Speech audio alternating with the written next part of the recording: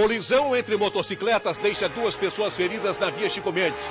Você vai acompanhar agora todo o trabalho da equipe do repórter Marilson Maia, registrando mais um acidente em nossa capital. Eu quero as imagens do monitor Royals. Imagens.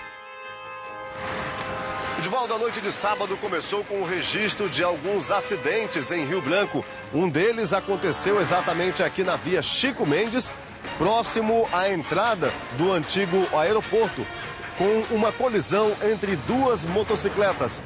Essa CG, essa CG Fan que você está vendo nesse momento, uma CG que estava sendo pilotada, estava sendo conduzida pelo, por uma das vítimas que está dentro da viatura do SAMU, já foi atendida. A gente percebe que no local há muito vazamento de combustível, vazamento de gasolina.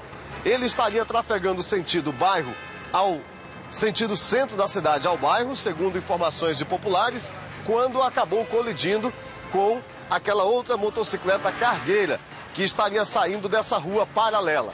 Segundo informações, não deu tempo para absolutamente nada, senão é, colidir com a segunda motocicleta. Você vê aí a motocicleta no local aqui, aguardando aí todos os processos, a, o procedimento de praxe da Polícia de Trânsito, a Ciatran.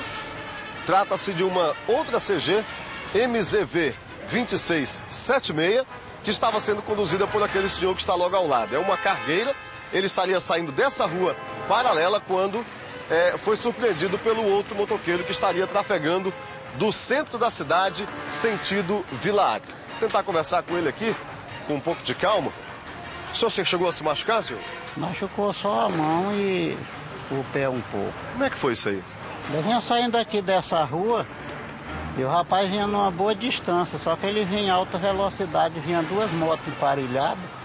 E um me cortou pela esquerda e pela direita e ele foi cortar pela esquerda. Eu ia cruzando para fazer o retorno aqui. Quando eu só vi foi a porrada e. O senhor já estava no meio da pista, já no meio da via, já para entrar no, no retorno? Estava no lugar e onde a moto virou já. Da via Chico Mendes, Marilson Maia, para o Gazeta Alerta.